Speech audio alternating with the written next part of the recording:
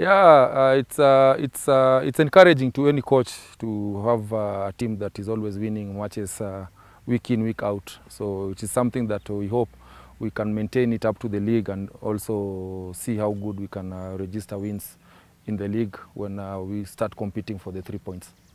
Training imekuwa poa e, tuko na moral tuna tumework more. Hiyo ya Zitek imekuwa tuichukulia kaa wake up call juu okay tu, hizo huwezi sema ni timu ndogo juu pale mkiingia 11 hakuna mchezaji mdogo na mkubwa, so hiyo tumechukua kama wake up call. Hii wiki tuna tuna prepare kucheza against Sofapaka, so tume, tuna, tume, tumeongeza a, a step more.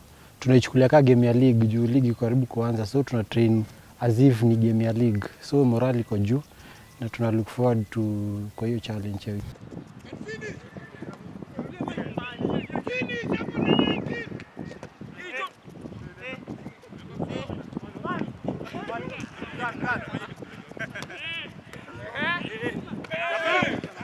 Achana nao.